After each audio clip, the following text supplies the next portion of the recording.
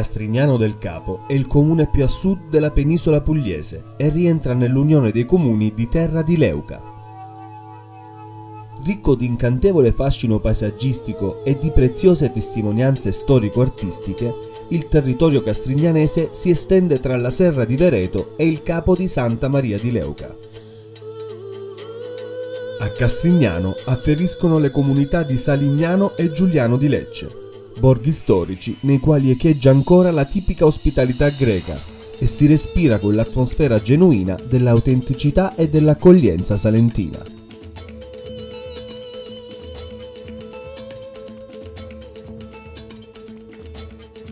Il mare di Castrignano è dominato dalla bellezza senza età della costa di Leuca, località caratterizzata dalle scenografiche forme del promontorio del Meliso e dalla fisionomia della possente basilica pontificia di Santa Maria de Finibus Terre, tra i luoghi di devozione mariana più rappresentativi d'Europa. Le campagne castrignanesi conservano l'eredità della civiltà contadina, manifesta negli antichi muretti a secco che scandiscono i vasti uliveti e i numerosi terreni agricoli, ancora oggi curati e coltivati con zelo.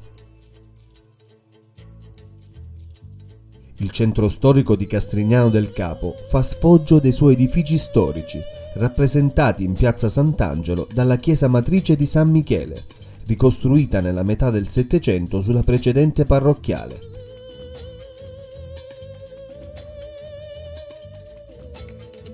L'interno è dominato dai grandi spazi architettonici scanditi dagli altari laterali, opere ricche di stucchi e vivide decorazioni. È degna di nota la statua lignea raffigurante il patrono San Michele Arcangelo, realizzata nel 1707 da Nicola Fumo, scultore significativo del barocco napoletano.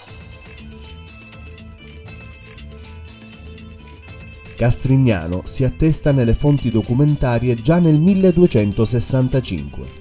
L'antico abitato si estende nel quartiere di Borgo Terra, il cui impianto conserva ancora uno schema geometrico a scacchiera. All'antico rione si accede da piazza San Nicola, slargo su cui si apre Porta Terra, varco principale del vecchio borgo castrignanese. L'ingresso si inserisce nella mole di Palazzo Ferzini, sorto sulla struttura muraria dell'antico castello feudale. Modificato in residenza nobiliare nel tardo Settecento, il fortilizio per secoli ha protetto l'abitato di Castrignano e la sua presenza si attesta già dal periodo medievale. Tra le stradine del piccolo Borgoterra si apre uno scrigno di architetture tradizionali salentine e con lo sguardo è facile incontrare edifici dai ricami decorativi cinquecenteschi, eleganti espressioni dell'antica società castrignanese. Il centro storico di Castrignano rivela ancora oggi ai visitatori le sue arcaiche bellezze, composizioni urbane che mostrano le molteplici evoluzioni storiche della cittadina, mentre i monumenti intagliati nella pietra ne narrano ancora oggi la devozione religiosa popolare e l'identità comunitaria ancora viva.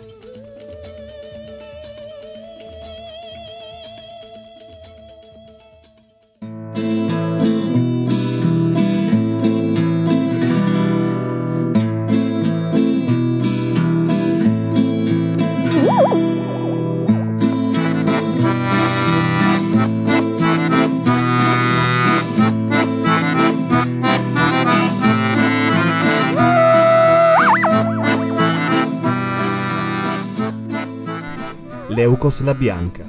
Così doveva apparire Leuca agli antichi marinai che scorgevano la sua inconfondibile fisionomia mentre attraversavano l'ingresso del canale d'Otranto.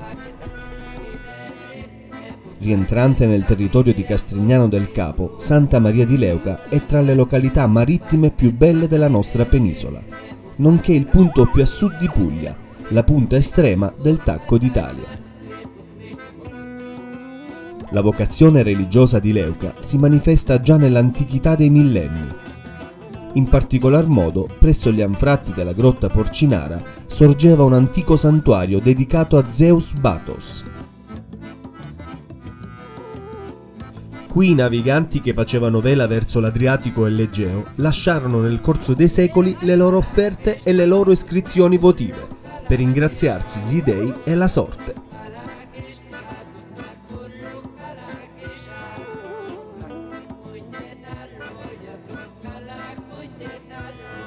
Ma è nel cristianesimo che l'Euca assume il ruolo rappresentativo della devozione mariana delle genti del Salento meridionale, divenendo nel corso dei secoli meta di pellegrinaggio e richiamando ai piedi dell'altare di Santa Maria di Finibus Terre migliaia di pellegrini da tutto l'Occidente.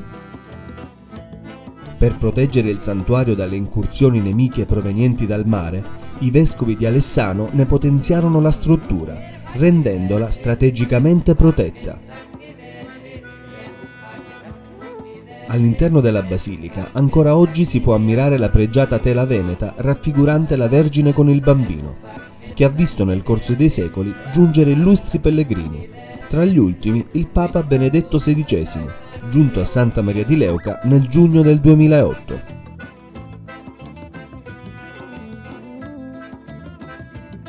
Fronteggiare l'edificio si erge il faro della Marina Militare Italiana, sorto di rimpetto i resti dell'antica torre d'allerta di Filippo II. Attivato nel 1866, è alto più di 40 metri e sovrasta l'intero promontorio del Meliso, dalla sua posizione privilegiata sopraelevata a 102 metri dalle acque dello Ionio.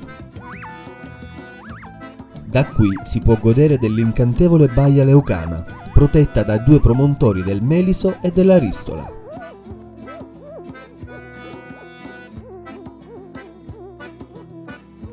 Il porto turistico, con le sue numerose imbarcazioni, fronteggia il lungomare Cristoforo Colombo e dona alla visione d'insieme della cittadina un tratto distintivo di rara bellezza, difficilmente trascurabile dagli occhi dei visitatori.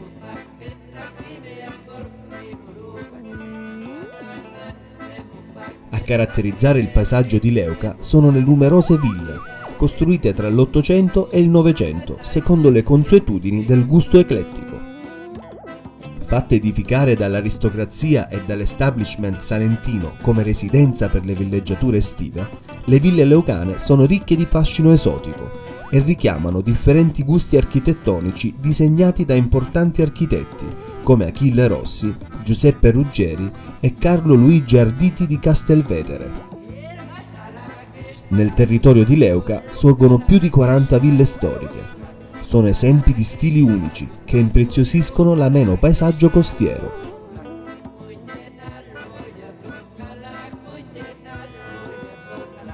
La chiesa parrocchiale di Cristo Re si coniuga pienamente all'eclettismo urbano di Leuca Realizzata su progetto del celebre ingegnere Pasquale Ruggeri, la chiesa di Cristo Re richiama nelle sue forme il revival architettonico medievale di fine Ottocento.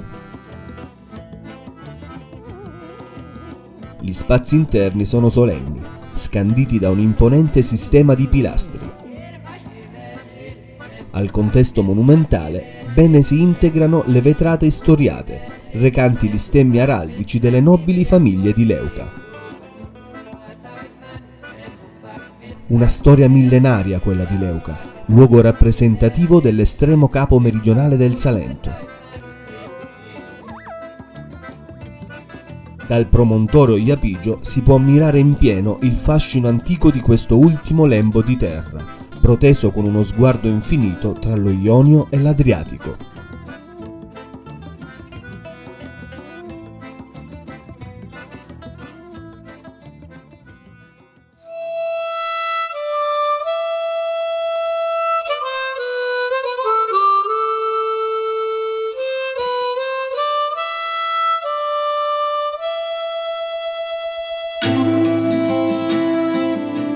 Protetta nell'entroterra del Capo di Leuca, Giuliano di Lecce è frazione del comune di Castrignano del Capo.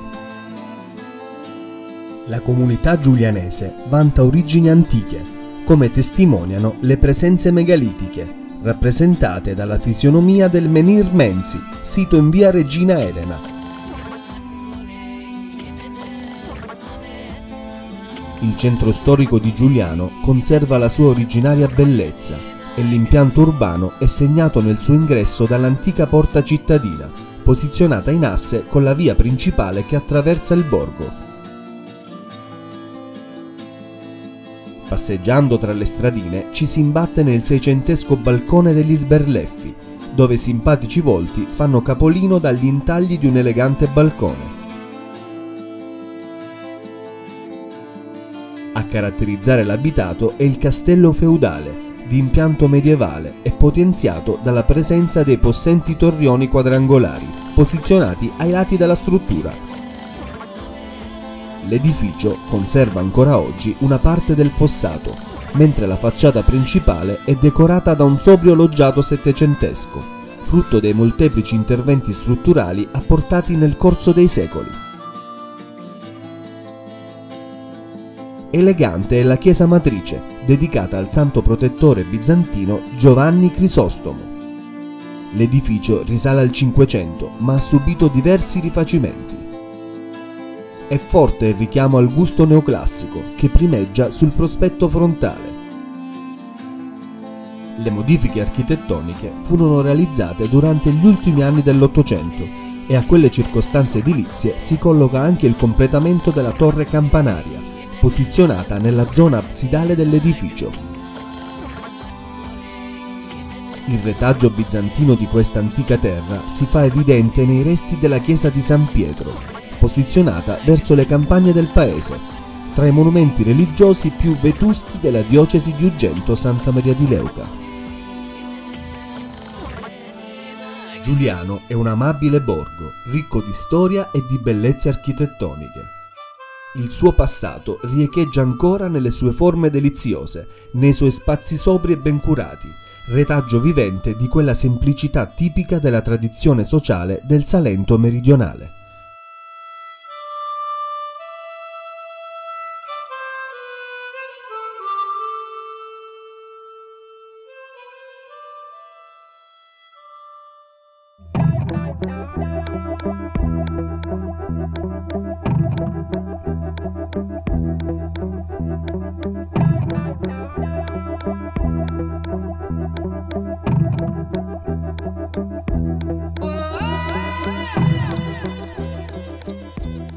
Frazione di Salignano, grazie alla crescita demografica del Novecento, è confluita nell'assetto urbano dell'abitato di Castrignano del Capo.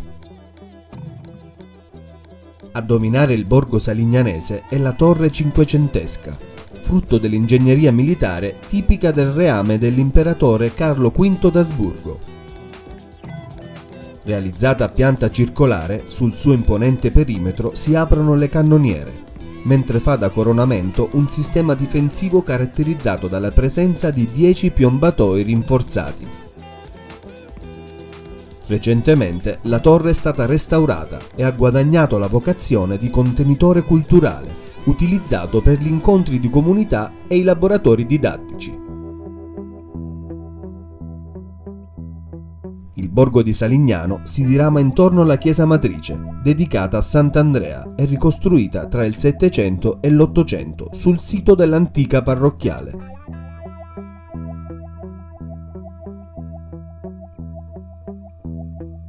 La campagna di Salignano fa rivivere ai visitatori la squisita bellezza della civiltà contadina del Capo di Leuca, verdeggiante e lussuriosa negli sterminati uliveti che si estendono in tutto il territorio circostante. Raggiungibile comodamente in bici o nei percorsi trekking, merita attenzione la chiesetta seicentesca della Madonna delle Rascie, sita lungo il tragitto che dall'abitato di Salignano conduce alla Basilica di Santa Maria de Finibus Terre, Edificata negli anni 70 del Seicento, la chiesa sorge su un antico insediamento rurale, che il Tasselli identifica con il nome di Criminò. Alle spalle dell'edificio, infatti, si scorgono diverse sepolture di epoca medievale, nonché architetture tipiche della civiltà rupestre.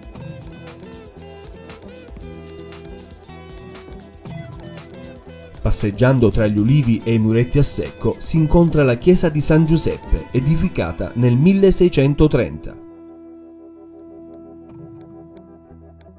L'edificio, insieme alla Madonna delle Rasce, per secoli ha rappresentato un luogo di passaggio per i pellegrini che dall'entroterra salentino si muovevano alla volta del santuario di Santa Maria de Finibus Terre.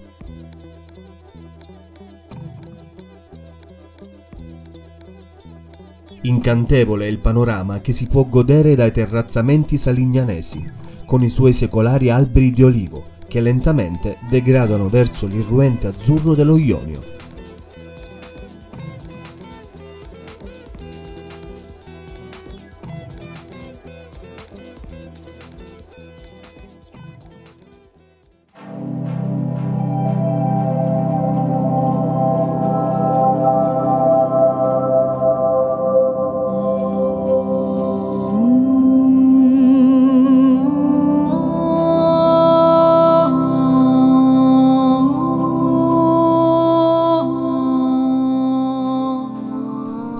Silenziosa e guardinga, la torre dell'uomo morto o degli uomini morti sovrasta la baia di Leuca. È una lontana testimonianza del sistema d'allerta delle torri costiere di Terra d'Otranto, voluto dall'imperatore Carlo V d'Asburgo, allo scopo di difendere le coste salentine dai nemici provenienti dal mare.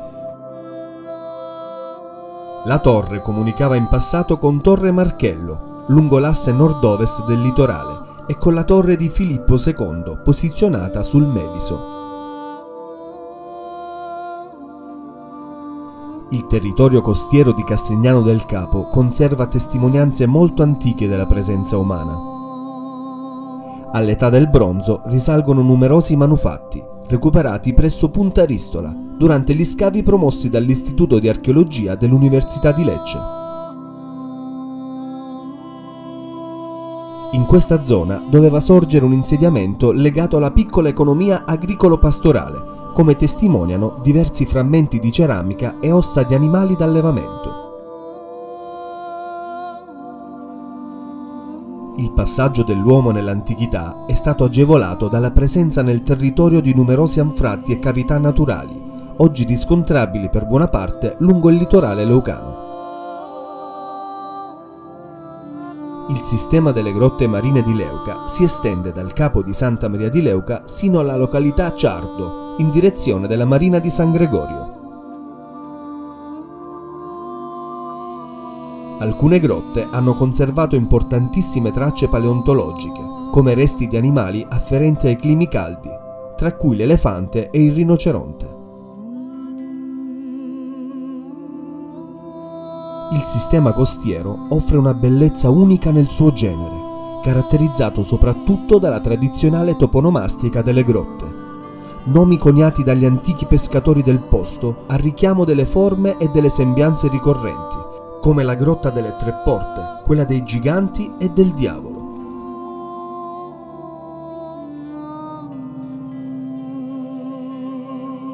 Anche l'entroterra conserva importanti tracce dell'antica presenza umana nel territorio di Leuca. Ne sono esempio le grotte disposte lungo i fianchi dei canaloni che attraversano il territorio dalla costa in direzione nord.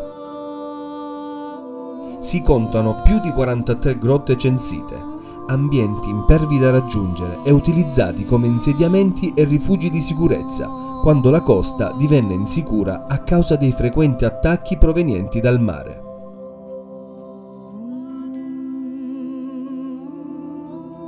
Immerso all'interno del Parco Naturale Regionale Costa Otranto, Santa Maria di Leuca e Bosco di Tricase, il litorale leucano racchiude una magnifica bellezza paesaggistica, tappa obbligata per tutti i visitatori del Salento.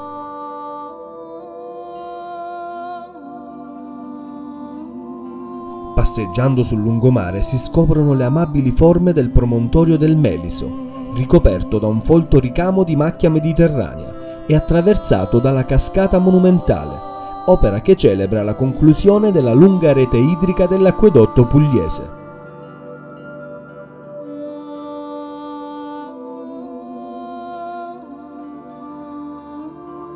Quella di Leuca è una storia antica, una storia che ancora oggi richiama sé migliaia di visitatori e turisti. Posti unici per potersi immergere alla scoperta di un Salento spontaneo, accarezzato dalla brezza dello Ionio e incantati dai pittoreschi paesaggi che qui sulle coste leucane non hanno eguali.